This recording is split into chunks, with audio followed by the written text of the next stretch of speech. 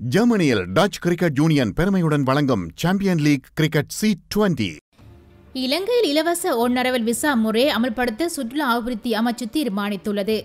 சுற்றுலாத்துறையை மேம்படுத்தும் நோக்கில் முப்பத்தொன்பது நாடுகளுக்கு இலவச ஒன்னரவல் விசா முறையை அமல்படுத்த அமைச்சரவை அனுமதி வழங்கியுள்ளது.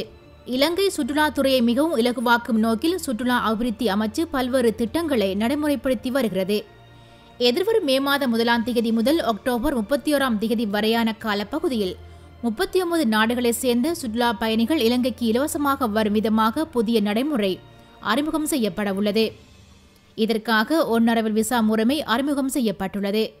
இந்த காலப்பகுதியில் சுற்றுலாத்துறையில் ஏற்படும் முன்னேற்றம் ஆராய்ந்ததன் பின்னர் தொடர்ந்து முன்னெடுப்பதா என்பது தொடர்பில் இறுதி தீர்மானம் எடுக்கப்பட உள்ளது ஸ்வீடன் ஸ்பானியா ஐக்கிய ராஜ்யம் ஆஸ்திரேலியா தென்கொரியா Canada Singapore New Zealand Malaysia Thailand Switzerland Austria Bulgaria Belgium Cambodia Croatia Cyprus செக்குடியரசு Denmark Estonia Finland France German Greece Hungary Ireland Italy Latvia Lithuania Luxembourg Malta Netherlands Poland Portugal Romania Slovenia ஆகிய நாடுகள் ஒன்னரவல் visa மூலம் இலகுவாக இலங்கைக்கான சுற்றுலா விசாவை பெற்றுக்கொள்ள முடியும்.